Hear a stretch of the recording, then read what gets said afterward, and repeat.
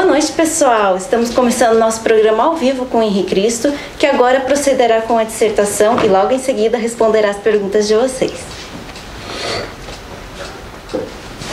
O Pai, eterno e inefável, Deus infalível, Criador do Universo, das culminâncias do Teu reino, do trono do Teu poder, do alto qual Teus olhos temíveis tudo descobrem, tudo veem. Abençoe Teus filhos com saúde, luz e justiça, porque Tua é toda glória para todo sempre, ó Pai. Agora, meus filhos, que ouvis falar de guerras, rumores de guerras, reino contra reino, nação contra nação, tempestades, terremotos, inundações, fomes, pestilências. É apenas o princípio das dores que enunciei para enunciar no meu retorno. Eu sou emissário do Pai. Reconheço o vosso direito que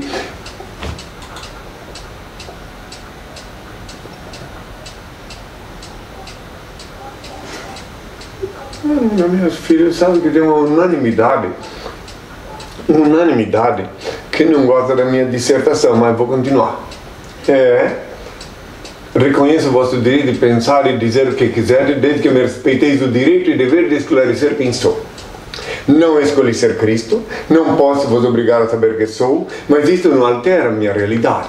Pensais que é fácil, obediente ao meu Pai, andar indumentado assim? Os ignorantes zombando de mim? Ainda que os malignos condenaram Galileu, a terra continuou gravitando em torno do sol. O sol brilha e mesmo que todos duvidassem, ele não deixaria de ser sol. Assim também, ainda que a maioria dos terráqueos não creiam que sou Cristo, continua sendo o mesmo que crucificaram. Não me é facultado abrir a cabeça do nécio com um serrote introduzir-lhe um bilhetinho dizendo acorda-te, ignorante, desperta-te.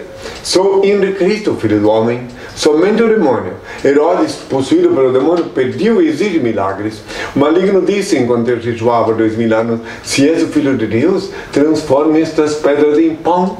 Ao que lhe respondi, nem só de pão vive o homem. Em verdade, em verdade vos digo, eu não preciso provar nada a ninguém, porque o óbvio é ululante não carece de provas. Vós, meus filhos, é que necessitais provar que sois dignos de meu Pai, Supremo Criador, único ser incriado, único eterno, único ser digno de adoração e veneração, onipresente, onisciente, onipotente, único Senhor do universo. Eu sou o libertador. Voltei a este mundo para libertar o meu povo do jugo dos falsos religiosos, dos grilhões da idolatria, da fantasia e da mentira. Amo a liberdade, por isso deixo livres os seres que amo. Se voltam, é porque me reconheceram e são meus filhos, dignos de meu Pai Senhor Deus. Se não voltam, é porque jamais tiveram parte comigo. se veres em mim alguma coisa, o ato aparentemente faltoso é injustificável, o erro não está em mim, e sim na maldosa ótica de vossa visão. Em mim não pode haver erro, porque sou puro e vim sem livre-arbítrio a este mundo só para executar a vontade do Ser Supremo e Perfeito que me reenviou. E quando ousar julgar-me, estarei sendo julgados por Ele. Benditos são os olhos que me veem e veem quem sou. Benditos são os ouvidos que me ouvem e me reconhecem pela minha voz. Bem-aventurados sois vós, vós que me escutais, porque eu vos falo que eu escuto do meu Pai que é em mim, que a paz seja com todos. Quero dizer-lhes, meus filhos, que eu sei que aqueles que são habituês, que assistem todo sábado no programa, podem, assim, dizer, poxa, mas ele vem de novo com a dissertação, mas aqui é uma ordem do meu pai, que eu sou obrigado a explicar essas coisas, falar essas coisas sempre para os novos ouvintes para não lhes dar ocasião de serem atormentados pelos espíritos das trevas, que dizem, ah, mas mire isso, mire aquilo. Então, já na dissertação explico minha condição, minha realidade. Então, espero contar com a vossa compreensão, principalmente daqueles que assistem ao programa todos os sábados. Faz parte da minha realidade e da obediência minha ao Senhor, meu Pai. Tenham todos a minha paz. Vamos às perguntas, então. A primeira pergunta é de Valmir Calman. Tem uma pergunta ao nosso mestre para o Justin TV. Devido ao qual minha internet é rural, ela só funciona às vezes. Mestre, quando você fala que só meus filhos me reconhecerão, isso quer dizer os espíritos descendentes de Adão e Eva? Satanás e todo espírito não evoluído que ambiciona o corpo humano? Os meus filhos, que eu digo meus filhos, que eu considero meus filhos, são aqueles a quem Deus, meu Pai, deu o dom de assimilar a minha realidade, porque estabelecem uma simbiose comigo e com meu pai. Então eu falo da parte do meu pai como sendo eles meus filhos no sentido místico da palavra. Enquanto ao demônio, Satanás, que está sempre querendo pegar aqueles que não estão prevenidos, não é que ele é os espíritos que não sabem quem sou, e sim que ele governa, ele tem poder sobre esses espíritos que ainda não estão preparados para ver, para enxergar, para sentir, não estão ainda sensibilizados com a minha realidade aqui na Terra. É isto. Hoje temos um assunto uh, a ser abordado aqui muito importante, muito relevante, porque agora mesmo acabei de ver no noticiário uma mulher que jogou criança para fora, ainda com cordão umbilical. Uh, o Brasil está vivendo um dilema muito grande. E agora, finalmente, a ONU, a Organização das Nações Unidas, elaborou um documento, um manifesto contra a abstenção, a negligência das autoridades brasileiras. Porque demonizaram a palavra aborto, né? eu também sou contra. Mas sou a favor da interrupção da gravidez indesejada. Porque essa palavra aborto está muito demonizada. Então, mil vezes melhor que uma mulher interrompa de posse do corpo que lhe é de propriedade, que é dela mesma, providencie junto à, medicina, dentro das leis, dentro das normas, aí é, e que entra o Estado, que o Estado tem que propiciar a mulher a mocinha, adolescente que foi estuprada ou que foi, enfim, que ela não pôde, não podia estar grávida e ficou. Então, antes que o feto adquira o status de criança, que seria passível de ser criado independentemente, antes, no primeiro, nas primeiras semanas, que se faça sim, com a ajuda do Estado, a interrupção da gravidez.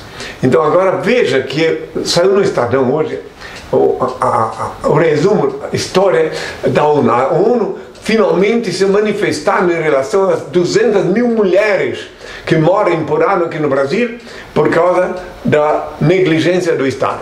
Mostra, vê se pode ler para eles, para, ver, para eles poderem compreender melhor. O governo de Dilma Rousseff foi colocado contra a parede ontem por peritos da ONU, que acusam o executivo de falta de ação sobre a morte de 200 mil mulheres a cada ano, por causa de abortos de risco. Eles pedem que o país supere suas diferenças políticas e de opinião para salvar essas vítimas.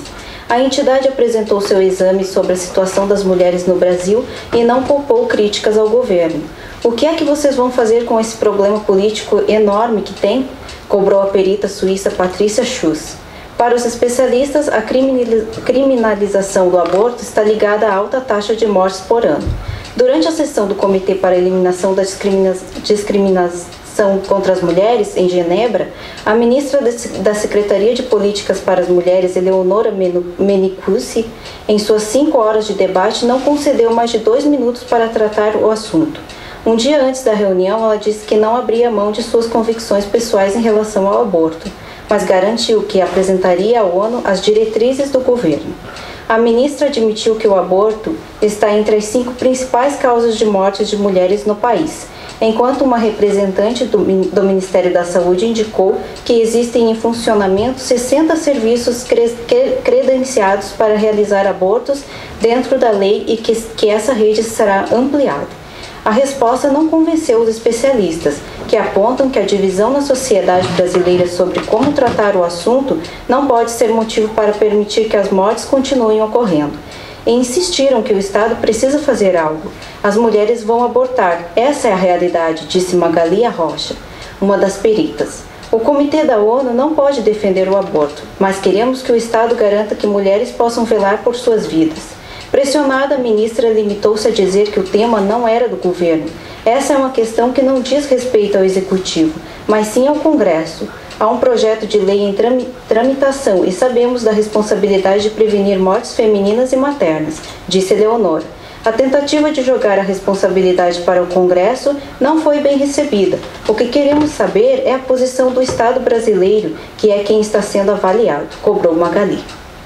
Pois é, então daí o que acontece, meus filhos, é que as mulheres da classe média alta, elas não têm problema. Elas têm condições de viajar para o estrangeiro, fazer o aborto num país onde o aborto é normal, legal. Elas têm condições, por último, ainda de contratar uma clínica particular aqui no Brasil e fazer o aborto. O que está acontecendo é que as pobres mulheres da classe baixa, de poucos recursos, elas vão enfiar agulha de crochê nos órgãos internos. Elas, elas usam, tenho notícia que até, até controle remoto já foi usado para tentar abordar. Quer dizer, são coisas assim abordar, é coisas assim absurdas. É coisa, não, não, não é para é muito sério isso aí, é coisa muito triste de saber que as autoridades fazem vista grossa em ver e priorizam a vida de embriões em detrimento da vida de uma mulher, de uma, um ser que já está aqui, que já é útil, que trabalha, que tem mais filhos para criar, às vezes, porque eles querem obediente aos falsos religiosos, aos que têm lucro com as crianças que nascem sem lar, para em nome delas pedir esmola para a elite. Isso é um absurdo dos absurdos. Inclusive, eu insisto em dizer, sou contra o aborto. Sou contra essa palavra que está demonizada. Então sou a favor que interrompa-se a gravidez nas primeiras semanas com o apoio e ajuda do Estado para acabar com essa hipocrisia e essa loucura que é é que engraçado, já perceberam que em geral quem é contra o aborto são os que nunca ficam grávidos? Já perceberam isso? São as bestas abatinadas? São aqueles que estão lá nos seus gabinetes, só usufruindo o lucro obtido da esmola pedida em nome das crianças desamparadas. Vejam bem, meus filhos, isso, isso, a sociedade tem que se acordar para isto. Há dois mil anos eu já disse que se algum órgão do teu corpo for motivo para escândalo, atire para fora, para longe de ti. E é um grande escândalo, sim, alguém carregar, por exemplo, um feto dentro do corpo. Veja que absurdo, que não tem cérebro. É, sabia que exigem que a pessoa fique, mesmo depois que detecta através de ultrassonografia que o feto não vai, é, é, não vai vir com cérebro, tem que ficar até o fim. As mulheres têm que ficar lá agonizando, sabendo, só para agradar esses fanáticos. Né? Então sejamos práticos. Entre os males, o menor. Digamos que já que demonizaram tanto a palavra aborto, então sejamos contra o aborto e a favor da interrupção da gravidez indesejada. Pronto, acabou. Já que a palavra aqui é o problema, então deixamos de lado a palavra aborto. Pronto, sejamos todos contra mas a favor, coerentemente, racionalmente, a favor da interrupção da gravidez indesejada. Porque aquela pessoa que não tem como sustentar um filho, que não tem um, o Brasil está só quem vive nos seus palácios, nos seus gabinetes e não conhece as favelas, não conhece a pobreza, a miséria, é que fica a favor, uh, contra o aborto. Tá? É, é, isso. Inclusive, é muito, é muito louvável que Deus está inspirando os as autoridades estrangeiras, os estudiosos das estatísticas, para eles virem para o Brasil, virem pressionar o Brasil para que alguém faça alguma coisa. Porque quem fica de braço cruzado, vivendo só a vidinha de dondoca ou de, ou de ladrão de gravata, não vai querer saber o que está passando nas favelas, o que está passando nas periferias, nas meninas que ficam grávidas com 12, 13 anos sem querer e que depois tem que arcar com as consequências. Esse é o problema seríssimo. Agora no carnaval, imagine quantas mocinhas vão ficar grávidas no carnaval. Imagine quantas. É, e depois, como é que fica? Outra coisa que é importante salientar é que a Itália, notai bem, a Itália a Espanha e o Portugal já legalizaram o aborto. A Itália, nota bem, uma mulher brasileira que quiser ir para a Itália abortar, pode. Lá é legal. Quiser ir para a Itália, bem, sabe o que é a Itália, né? A Itália, Roma, né? vocês sabem que lá é a sede da, da religião que é contra o aborto. A Itália, o Portugal e a Espanha. Quer dizer, qualquer mulher brasileira que tem dinheiro, ela pega um avião, vai lá, se hospeda no hotel, vai lá, visita uma clínica especialista em aborto, faz e volta para cá. Enquanto que as pobrezinhas, as infelizes, as coitadas da periferia que não tem sequer dinheiro para embarcar no avião, tem que ficar aqui vivendo esse sufoco eu sei de perto, eu acompanhei de perto, eu já tive vários depoimentos, eu sei de coisas horrorosas que acontecem com essas pobres jovens que são vítimas dessa situação. E principalmente aquelas que foram estupradas. Aí vem com essa conversa fiada de que existem clínicas especializadas para abortar dentro, dentro da lei. Balelas, porque a pessoa, para poder, quando ela foi estuprada, para ela conseguir remover o feto, ela tem que entrar no Poder Judiciário. E todos nós sabemos que a justiça é morosa. Em Curitiba, testemunhei pela televisão uma menina de 9 anos que ficava todo dia aparecendo na televisão com, com, com aquela barriga dela, dá tristeza de ver. E só quando ela com sete meses que o Poder Judiciário decidiu que ela podia abortar. E daí já tinha, é óbvio que daí o feto já tinha status de criança. Né? Bom, nada mais a declarar, só quero que todos que me ouvem, sei que não são muitos os que me ouvem agora, mas que pensem a favor da vida, da vida com dignidade. Que pensem e se conscientizem que tem uma coisa muito errada no Brasil, no país que Deus me deu e deu a todos vós como pátria. Tenham todos a minha paz. Sim, Valdeive. Boa noite. Rabi, como é o clima, a cultura e o povo brasiliense? Vossa Santidade demorou para se adaptar à nova sede da SOS? Olha, meu filho, eu estou muito agradecido ao Pai por ter designado que eu viesse definitivamente aqui com a sede do reino dele. Para mim, o clima aqui é o melhor possível.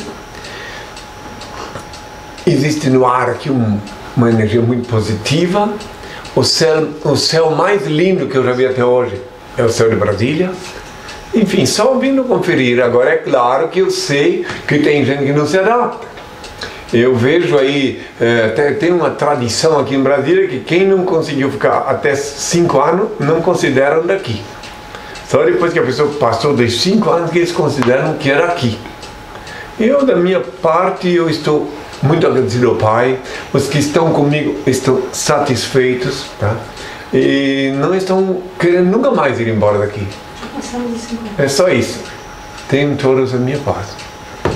Edgar, os remédios são bons? Devem ser tomados? Aí depende, meu filho.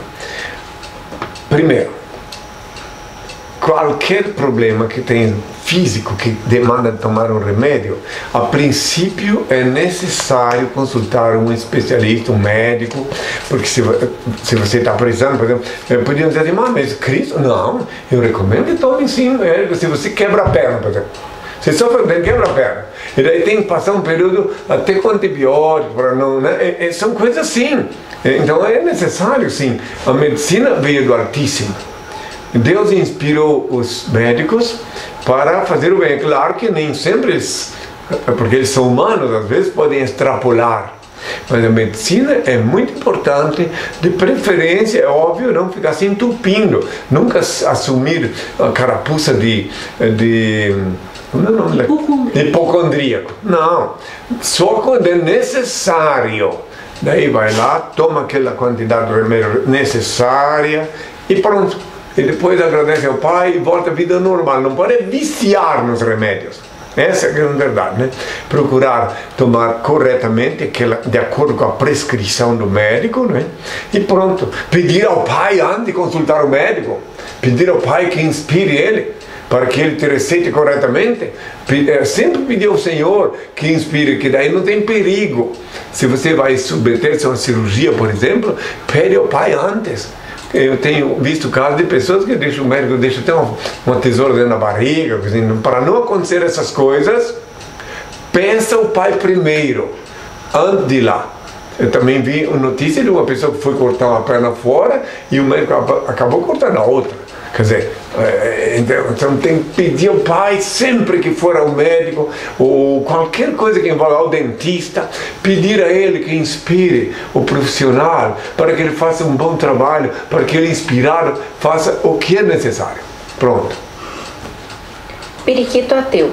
Henry, segundo o livro História da Bíblia de Hendrick, os babilônios os babilônicos teriam desenvolvido as leis morais mais tarde incorporadas por você quando era Moisés, nos Dez Mandamentos, e que ainda hoje constituem os alicerces do cristianismo. Qual a sua opinião? Eu não conheço esse livro que ele está falando, né? ele se não conheço esse livro, não conheço esse autor, então eu não posso opinar sobre uma coisa que eu não conheço. Se um dia eu tiver tempo, alguém me alcançar esse livro, tiver tempo de lê-lo, é, então daí eu vou poder opinar. Agora não posso opinar porque eu não conheço o livro, não, li. Eu só posso opinar sobre coisas que eu li, que eu conheço. Agora, quantas leis estabelecidas pelo meu pai, os dez mandamentos, foi estabelecido por ele. Então não adianta alguém querer dizer que foi tirado daqui ou de lá. A lei é uma só. A verdade é uma só. E a verdade é universal. Se algum povo de outro país também teve inspiração para uh, aplicar ou viver dentro da mesma lei, é porque esse povo estava inspirado por Deus. Então a lei é uma só. Então eu já vi muita gente falar que os livros da Bíblia foram uh, compilados, ou que isso, que aquilo outro. Pode falar. É dos Vedas. É, é dos Vedas, por exemplo. Então, nos tempos de Moisés, tinha como príncipe do Egito uh, acesso à biblioteca mais atualizada da época. Então, se lá dentro da, da, biblioteca, se algum livro no tempo de Moisés tivesse sido lido, e lá tivesse a verdade, e que Deus tivesse cutucado, olha, isso aqui faz parte da minha lei. Então, obviamente que como Moisés havia que acoplar aquilo ali, porque é a ordem do Altíssimo. Agora mesmo para mim, eu, Henrique Cristo aqui, se eu vejo uma coisa, se uma pessoa, um mendigo me trouxer uma coisa para mim, me fizer uma pergunta ou me falar uma coisa, e eu detecto que aquilo que ele falou veio do Altíssimo, é a verdade, não tenha dúvida que eu aprovo, não tenha dúvida que eu mando que ele passe para frente, que se ensine. Entende? Porque a verdade é universal, a verdade não tem dono. A verdade, o soberano da verdade é Deus. Então ele não deu exclusividade para ninguém sobre a verdade. Ele manda o filho dele, o servo dele, de tempos em tempos aqui, para despertar as consciências da verdade. Mas ninguém pode se dizer detentor da verdade, porque a verdade é universal. Tenho dito. Edgar. Os produtos agrícolas que o senhor planta usam algum tipo de química, agrotóxico ou adubo ecológico, como os orgânicos? Ai, meu filho, aí tem um problema seríssimo hoje em dia. A alimentação hoje em dia está um problema, entende? Então, às vezes, carece-se de colocar alguma coisa. Eu não, não, eu não planto pessoalmente, né? Mas aí tem que consultar a minha jardineira aí, a, a Ione, né? Perguntar o que, que ela usa, porque eu sei que a gente faz o possível para viver dentro do, do mais natural possível. Então, pega os, os, restos de frutas, cascas, tritura. É. Torna-se um adubo orgânico. Ah, tá, exatamente. Ela, não, ela acabou de a Suzana dizer que ela pega e tritura as frutas. Ah, e esterco de. esterco de vaca, que eles usam para adubo aqui, né?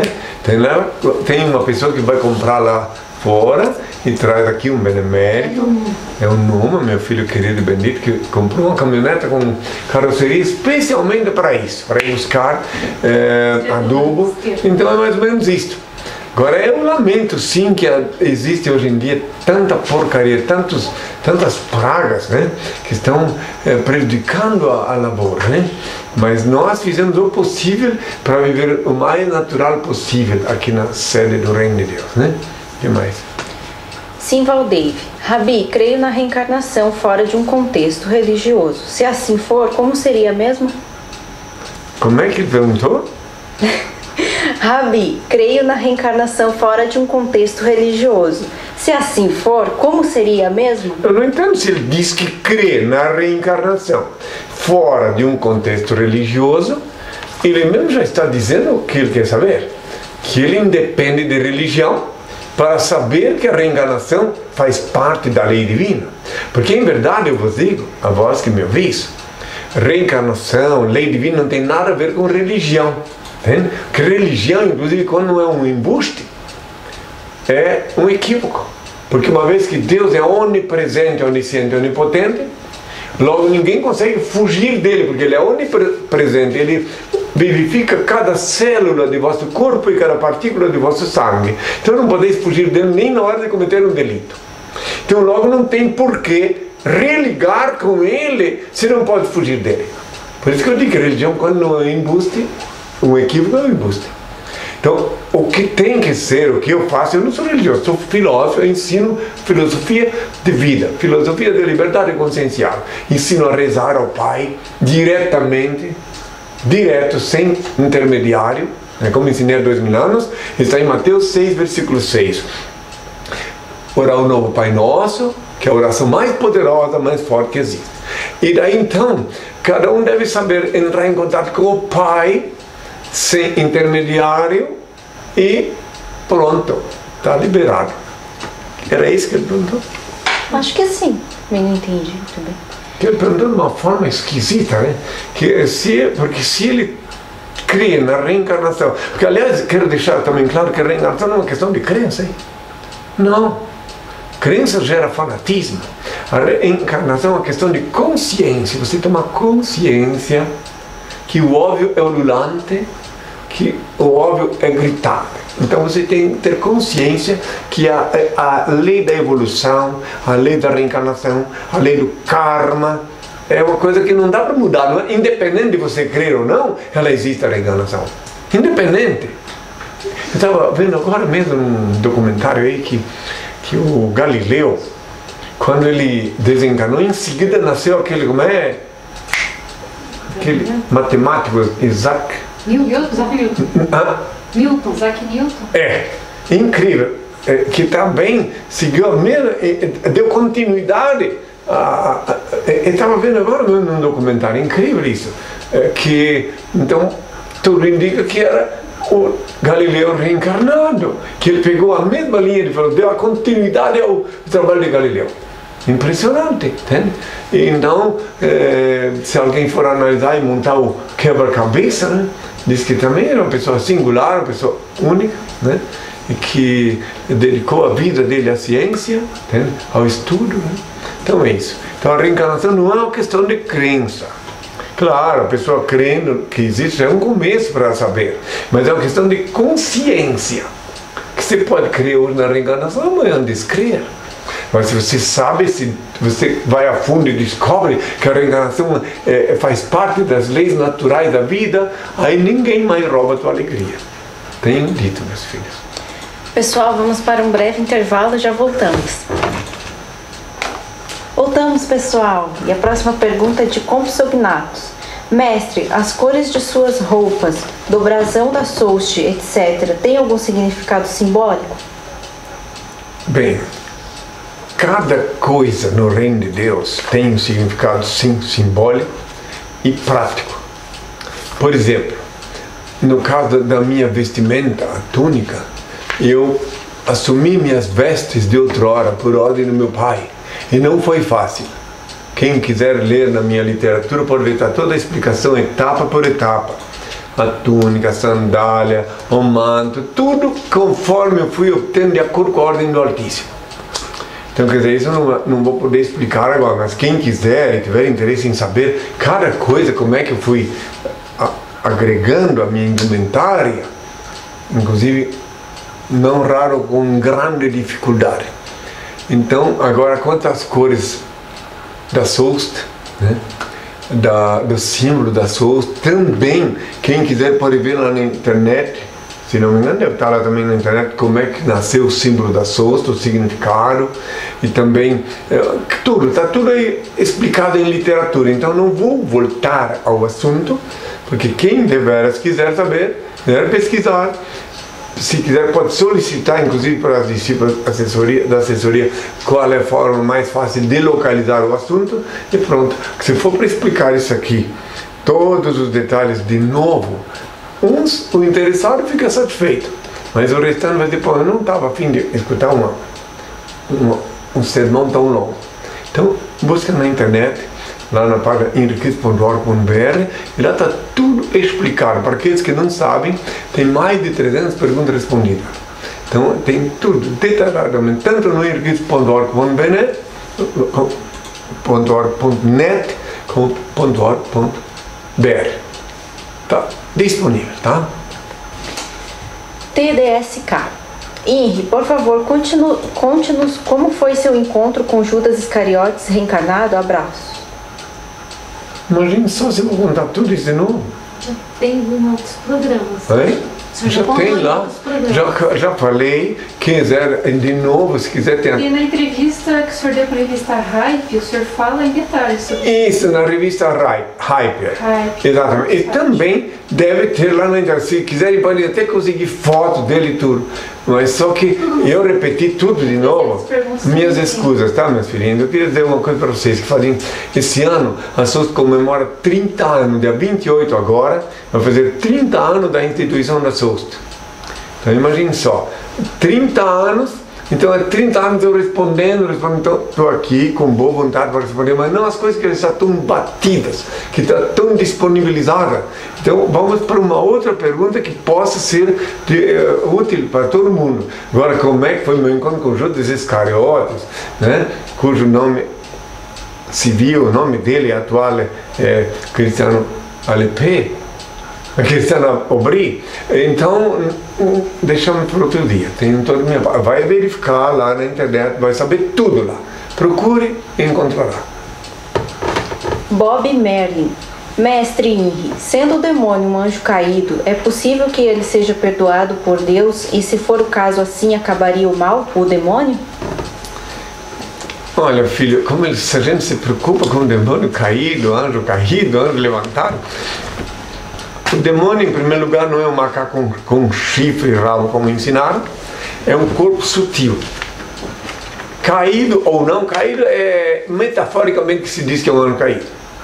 É uma energia, um corpo energético que atua sobre as pessoas.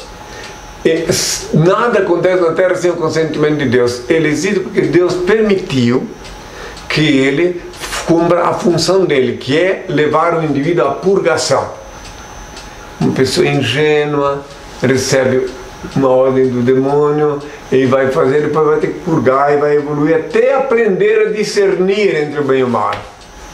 Até o filho do homem que vos fala há dois mil anos teve que no jejum ter longos colóquios com ele e sempre ele tentava me convencer a obedecê-lo e eu não obedeci.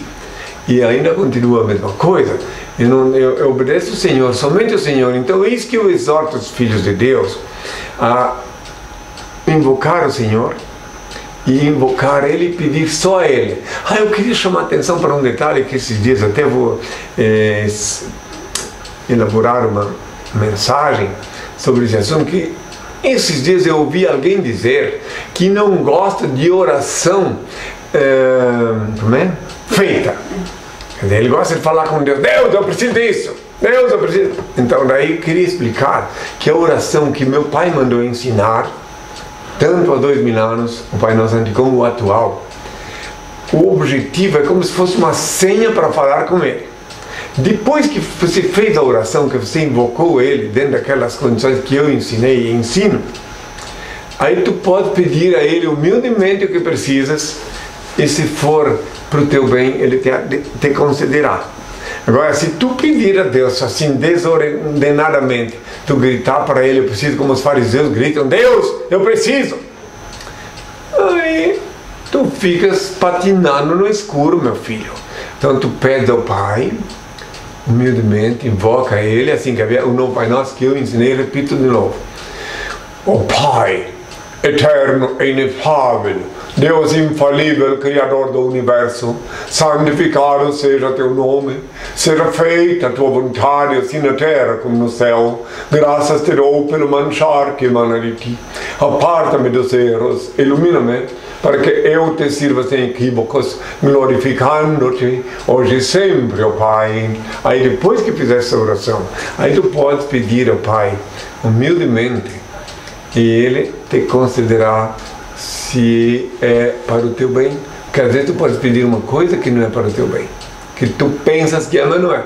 Então Ele que sabe tudo te concede a graça das coisas que são para o teu benefício e de acordo com o teu merecimento, meu filho, tá?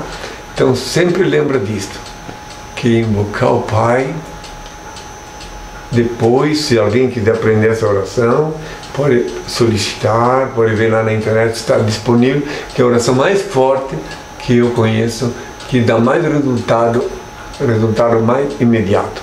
Tenho minha paz. Bruno, se um dia o senhor criar um bloco de carnaval, qual seria o nome dele?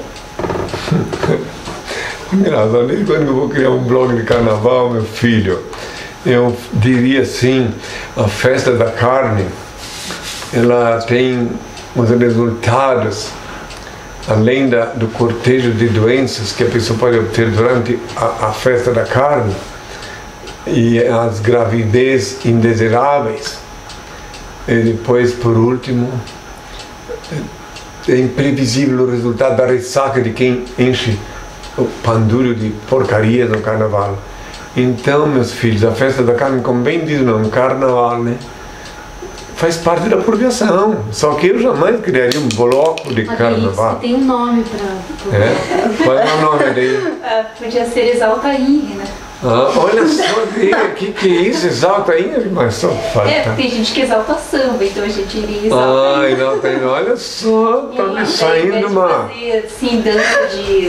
Danças, né? Ah, mas tá me saindo pior que encomenda, minha filha. Olha, tá ironizando mesmo, né? Ou então aquele outro que você falou lá. Não, é, Marotos do Inri. O Inri e carnaval não combina, não dá certo, né? Nada contra, que eu sei que Você faz podia ser parte. Inrival. Hein? Inrival, daí não é, É. carnaval, é inrival. Pois é, porque nada contra, porque eu sei que faz parte da, da- da- do processo de purgação, né? E é um período que as pessoas se extravasam, elas fazem aquilo que elas não têm coragem de fazer o restante do ano. né? Tudo fantasia, tudo ilusão. Sandro, boa noite a todos. Henri Cristo, o senhor poderia falar da logosofia? Logosofia é uma nova ciência que explora o, homem por inteiro, aproveitando todo o seu potencial psicológico, mental e espiritual. O objetivo é conduzir o homem ao conhecimento de si mesmo. Bem, bem-vindo à logosofia. Bem-vindos conhecimentos que facultem o indivíduo se conhecer por inteiro. O ideal é que o homem se conhecesse por dentro também, sim.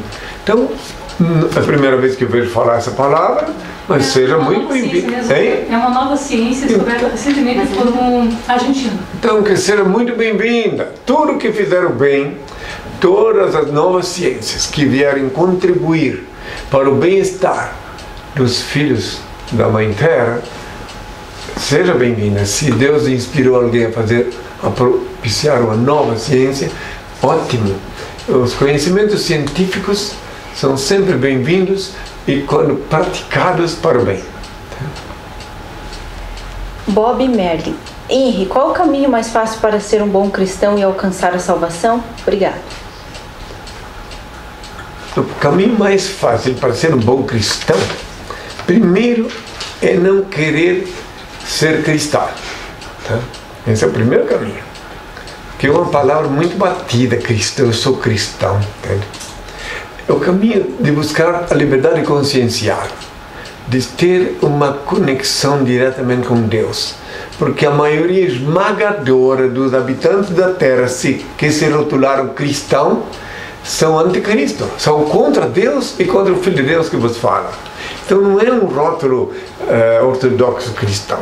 Então ser um bom para consigo mesmo. E não confundir bom com bobo, hein, meu filho? Cuidado que às vezes as pessoas já ouviram muitas. Ai como ele é bonzinho, ai como ele é boazinha. Está dizendo, ai como ele é bobinho, ai como ela é bobinha.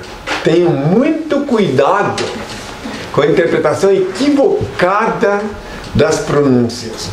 É, como é bonzinho, como é bonzinho, como é bobinho, como é bobinha. Tem que ser sempre pisando firme na terra, empunhando a bandeira da racionalidade, sempre. Nunca deixar de lado a racionalidade, buscando sempre inspiração no Pai para andar erguido sobre a terra, não deixar ninguém se fazer de bobo. Quantos tem nesse planeta Terra, nesse Brasil, que aceitaram que um lobo montasse no dorso e chupasse 10% de seu salário? Quantos aceitaram isso? Ainda com status de evangelho. E ficam zangados quando falam, mas é verdade. Que o verdadeiro evangélico é aquele que leva a sério o que eu ensinei, o que está no Evangelho, e não aquele que obedece o lobo com pele de ovelha.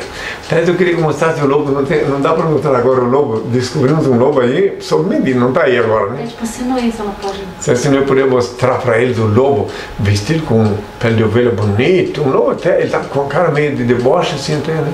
né? Se ela não puder mostrar agora, uma outra hora ela mostra ela já encontrava Edgar. Esse homem, Carlos Heitor Coni, da ABL, apesar da cultura, parece ser pouco esclarecido e desinformado a respeito do Senhor. O estudo não deveria deixar o homem mais inteligente? É, o estudo deveria deixar o homem mais inteligente. Mas se você for ensinar um jegue, fazer um jumento, um jegue, é, ouvir N litanias e ladainhas e dissertações, etc, etc. Ele vai, quando muito sei, falando, resmungando, como é que chama mesmo que o, o bicho que ele faz? O, ele zurra, zurrando, zurrando, aquelas coisas foi feita. Então, se ele, veja bem, esse, esse cidadão aí que tu acabaste de falar, o Heitor Coni, é bom, já que abordou ele, está vendo uma pessoa de fora que já está caindo a ficha. Então, se ele se ele não fosse burro, né? eu vou dizer bem assim, ele já tinha aparecido em cena imediatamente, Henry, me desculpe, eu me equivoquei, eu viajei na maionese, eu disse que tu eras isso, que tu eras aquilo, disse que tu tinhas um nome que não tem nada a ver, porque depois a Polícia Federal investigou meu passado todo, sabe que meu nome profano, não que me deram quando eu nasci, que me registraram, era Álvaro. E nunca o Térpio Gonzalo, imagine, nada contra o Térpio, né? Mas é um nome que ele botou que é meu. Fora outras sandices que ele colocou lá, que não tem nada a ver, que eu tenho o ofício de bancário, imagine. Que eu não tenho estudo acadêmico para ser bancário, né? não tenho se eu forçado a reconhecer que eu estudei só, meu pai me levou a estudar só para ser alfabetizado, três anos na escola pública, depois quem me instrui é ele. Eu sou teodidata. A Polícia Federal, quando me questionou no monte, no enorme inquérito que montaram há 20 anos atrás, até fazer um exame grafotécnico comigo, eles ficavam dizendo que eu não, que eu tinha estudado. Aí depois compreenderam, através de um exame grafotécnico, que eu estava falando a verdade que eu não estudei em escola mais que três anos. Então daí, esse homem, ele fala um monte de bobagem, mas ele podia, inclusive eu diria o seguinte, que antes de ele partir desse mundo para o outro, ele deveria corrigir isso. Por, por ele, ó, eu ainda nem, nem acionei o Poder Judiciário por conta dessa montoeira de calúnia que ele dirigiu contra mim. Bobagens. Não, eu penso por enquanto estou avisando ele que tem. Eu espero sim que um espírito de luz avise ele: olha, Heitor Coni, eh, fica melhor você ir lá corrigir. E também a Academia Brasileira de Letras, que, que vergonha uma, uma instituição tão respeitável até então como ela, ficar expondo é, uma, uma, mentira daquela, que fica provado. Eu mostrei, através do documento, posso mostrar que tudo é mentira. É, então, é, é, o Heitor Coni, coitado, a não ser também que ele já está meio né, fora do, da responsabilidade, digamos, esclerosada. Nem assim. Gaga, ver que o armário dele está trancado. É, ah, pode ser que chavearam o armário e não consegue fugir do armário, tá pode bom. Pode ser Lady Gaga. Ah, ah Lady... Lady Gaga. Lady Gaga. Gaga.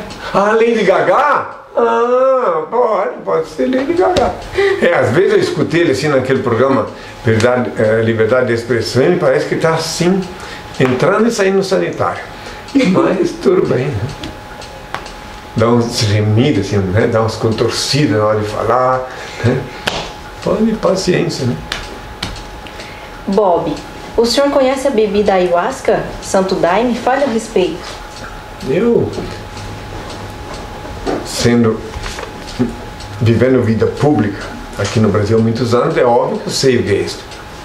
Só que eu não aconselho ninguém usar. Porque é muito perigoso passar para o lado de lá. Ela, ela mexe com o sistema neuronial, com o canal neuronial que, tem, que dá acesso a espíritos externos. E o indivíduo pode adquirir, um espírito pode pegar ele ali e viciar ele naquilo ali e mudar a personalidade dele completamente. Inclusive, recentemente, em São Paulo, houve um crime, até que chocou a opinião pública de todo o Brasil, que uma pessoa que frequentava um ambiente desse, que usava esse, essa coisa, e é, como é, parece que um artista. Eu sei que ficou um escândalo muito grande, houve até um assassinato. Eu não lembro agora, mas sei que houve um crime em cima disso aí. Num, num, num desses. Uma chácara, né? É, numa chácara lá. Eu sei que houve até um crime de morte por conta dessa porcaria que eles estavam ingerindo. Né? GRS. Henry, gostaria de saber se existe vida fora da Terra? Se sim, existem outros filhos do homem? Ai, como estou já cansando de responder sempre que Deus é onipresente, onisciente, onipotente. Então ele tem vida sim, Marte, eh, Júpiter, Platão, todo lugar tem vida, porque ele é onipresente. Mas terráqueos só tem na Terra, meus filhos. Tem vida, a Via Láctea, as galáxias, cheio de vida. Porque Deus é onipresente. Agora, vida de terráqueo, como bem diz o nome, só na Terra. Terráqueo, terra. 70% água no corpo nosso e o restante terra. Vicineu. Henry, há dois mil anos atrás, como, como e quando é que Jesus recebeu a revelação de quem era? Foi da mesma forma que na atual encarnação? Há dois mil anos, quando, igual que agora, vinha pequenos flash. Alguma vez tinha uma luz, mas depois tinha que viver. Vivi 13, de- dos 13 aos 30 anos, 17 anos de vida profana. Se eu tivesse plena convicção dos 13 aos 30 anos da minha missão, eu não poderia deixar de cumpri-la. E dos 13 aos 30 anos eu não estava apto. Então eu tive que passar por um processo de aquisição de conhecimento contemporâneo. Tive que conviver com certas coisas que fazem parte da vida profana de cada indivíduo, porque daí eu adquiri o conhecimento, a certeza de que todos pecam. Por isso que eu disse que aquele que estiver sem pecado atire a primeira pedra. Porque eu estive no meio dos pecadores, participando de tudo, e por isso que exigi que João Batista me batizasse. Porque eu estava vindo do lamaçal dos pecados do mundo. E só depois do batismo que eu comecei de veras a cumprir a minha missão. E há dois mil anos foi assim, e agora também. Ah, e há dois mil anos, para aqueles que não sabem e, e pensam que não foi assim, está em Isaías 7, versículo 14 que estava lá escrito assim que uma virgem conceberia e dar à luz a um filho e se chamaria Emanuel comendo manteiga e mel até aprender a separar o mal do bem. Manteiga e mel é experimentar o doce e o salgado porque a manteiga era feita de leite coalhado. Então é, eu vivi até os 13 anos até os 30 anos conhecendo as misérias do mundo. E nessa encarnação também, até os 30 anos, eu estava conhecendo as misérias do mundo, as fraquezas humanas, as desgraças, enfim, tudo que existe na atual conjuntura de coisas que perturbam a vida dos seres humanos, o Senhor me levou a conhecer examinar pessoalmente cada coisa para depois cumprir minha missão. Note bem que há dois mil anos eu cumpri até os 30 anos com o nome de Emmanuel. E se alguém duvidar disso, então vai lá na Bíblia e vê Isaías 7, versículo 14. Só depois dos 30 que eu assumi o nome de Jesus.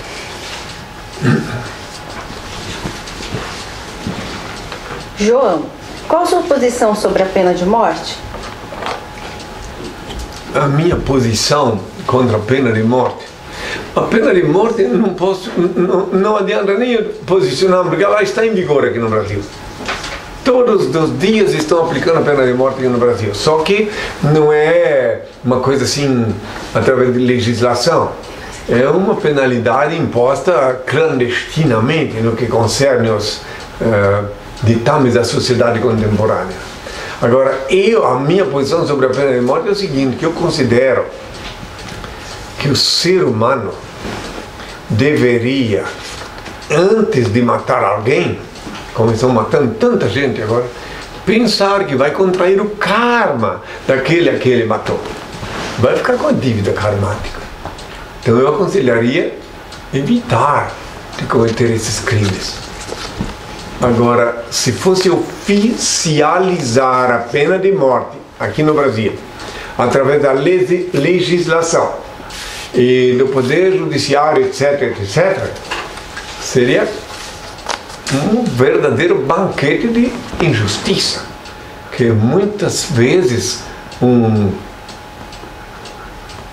um, uma bola da vez aí ia ser morta para esconder o verdadeiro criminoso. Entende? Porque aqui no Brasil teria que, para haver a pena de morte de verdade, teria que fazer uma mudança muito grande na legislação. Então eu sou contra, no caso, porque não, é, não haveria justiça. E não precisa ser no Brasil só. Nos Estados Unidos, esses tempos o indivíduo esperou anos e anos para ir para ser executado e na última hora não havia aplicação de injeção que aplicava nele que não morria. Vocês lembram desse espetáculo dantesco? É, então quer dizer, tem além dos homens, além da lei dos homens, tem o Altíssimo, que se uma pessoa não é para morrer, eu não tenho nem sei como é que ficou aquele caso, o que fizeram, porque ele não morreu. Parece que foi anistiado. Eu não sei, eu sei que ele ficou, ele até pediu para, queria que facilitasse o, o trabalho do, do, executor, mas não deu certo. Então aí fica esse mistério, meus filhos. O ideal seria que ninguém precisasse matar ninguém, que deixasse a mãe natureza seguir o curso dela sem interferência dos seres humanos, sem interferência dos crimes, etc. Um dia a humanidade vai se despertar, não está longe esse dia, e vai ser zerado esse, esse banquete de crimes que acontece agora aqui na Terra. Eu sei que depois da hecatombe nuclear, os sobreviventes vão ser mais cautelosos na observância das leis naturais. Márcio C. Olá, Henri. Sabe-se que a besta do Apocalipse é o Papa. Mas como será a introdução do seu número 666 na mão, na fronte das pessoas? Não está escrito em nenhum lugar que vai ser introduzido na mão das pessoas. Está escrito em algum lugar? É que no, tem no Apocalipse que as pessoas que têm a inscrição da besta nas suas frontes, uma coisa assim. É que está na cabeça, que está impregnado. A, pessoa ah, é, ah, a doença, o fanatismo, então. É, é o fanatismo religioso. Então é uma metáfora, é o fanatismo religioso, porque o chapéu da besta já foi detectado e decifrado. E quem quiser pode ver, até na internet a, a, o significado, onde é que está o 666, a formação do número 666 através das letras que estavam escritas no chapéu da besta. Tá? Quem quiser pode verificar lá. O que mais? TDSK. Esse Coni é um picareta, recebe milhões em dinheiro público, porque se diz vítima da Revolução de 64. É um canalha sem vergonha. Abraços. Não sei, eu não sabia nem desse detalhe de que ele se diz vítima né, da Revolução, mais uma novidade para mim, né? É interessante. Olha, da minha parte, eu olho só assim, ó. me inspira mais piedade do que qualquer coisa. Porque na idade dele, a melhor coisa que ele podia fazer é corrigir. Porque quando uma pessoa chega a uma certa idade, ela tem que arrumar a vida dela. Porque vai, já pensou, se ele vai deixar para a posteridade escrito que ele me caluniou, e que insistiu na calúnia, 20 anos me caluniando, sempre de novo, de novo, de novo, ele vai ter um problema sério para descansar. Entende? Então eu aconselharia ele que ele fosse lá no próprio jornal onde ele me caluniou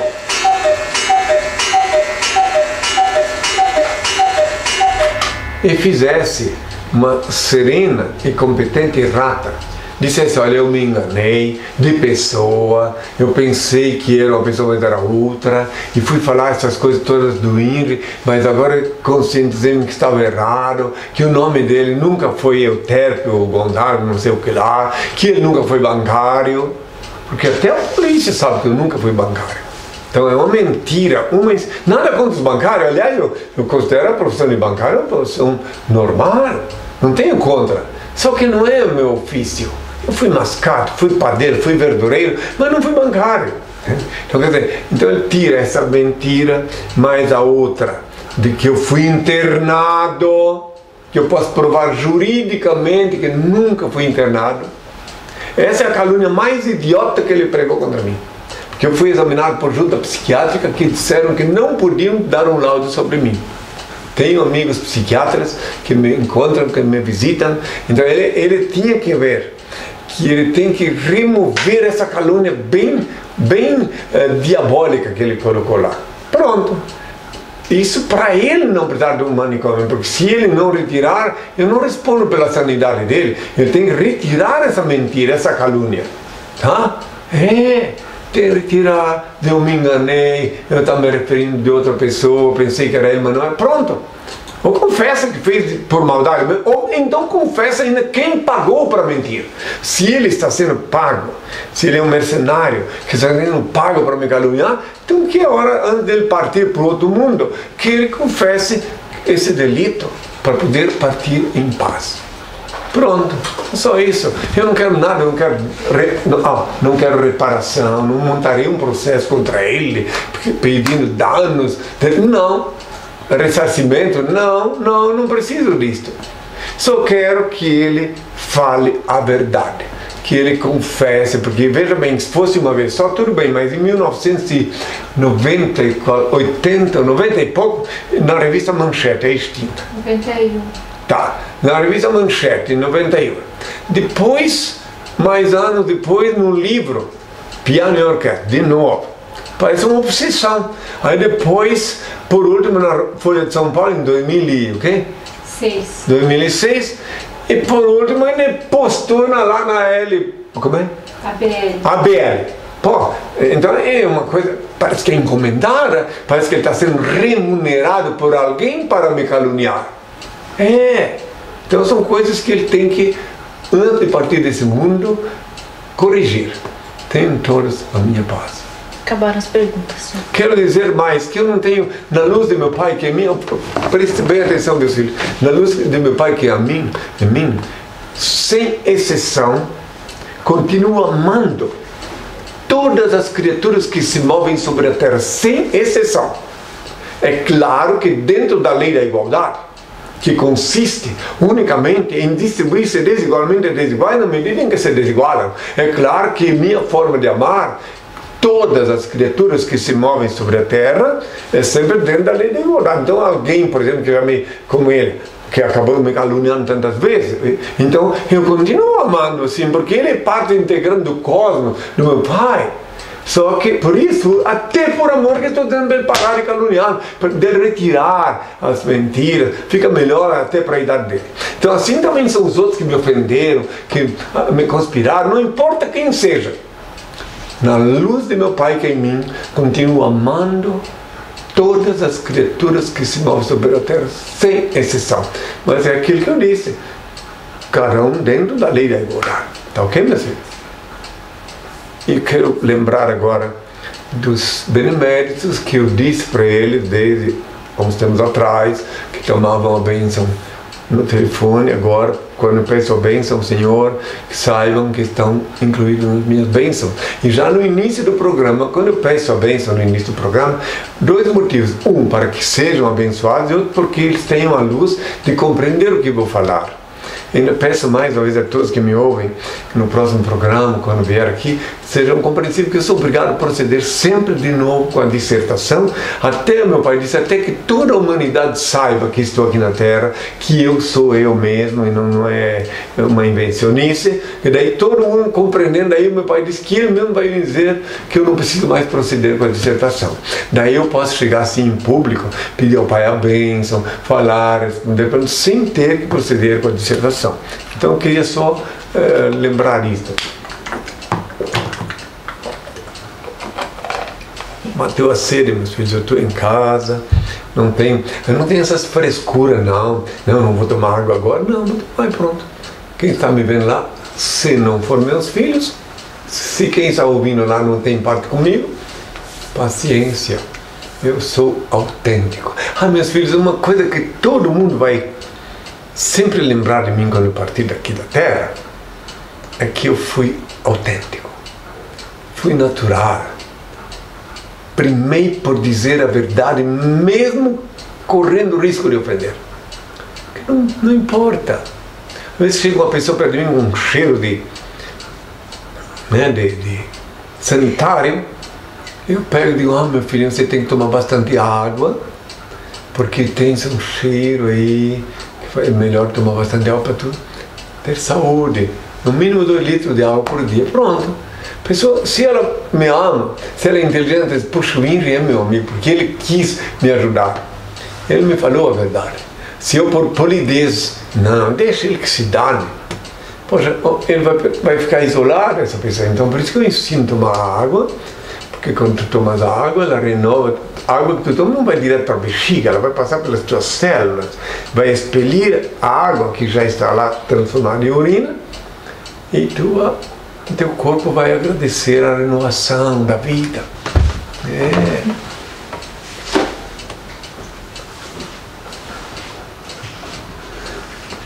O Pai, eterno e inefável, Deus infalível, Criador do Universo, das culminâncias do teu reino, do trono do teu poder, do alto do qual teus olhos temíveis tudo descobrem, tudo bem. Abençoe teus filhos com saúde, luz e justiça, porque tua é toda glória para todo sempre, ó oh Pai. Agora que me lembrei que tem os australianos, estrangeiros, né? Oh Father, bless, bless your children with health, light and justice, be with all. Oh Padre, bendiga tus hijos con salud, luz y justicia, porque tuya es toda gloria para todo el siempre, oh Padre.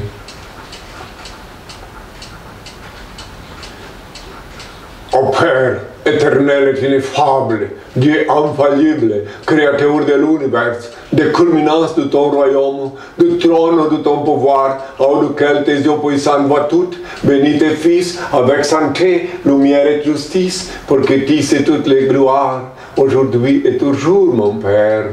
Que la paix avec tous, meus enfants, que a paz seja com todos meus filhos. Espero em Deus que cada um que me ouve, que me assiste, se esforce para compreender a minha realidade e receber a bênção do Senhor. Até sábado e até sempre. Boa noite, pessoal.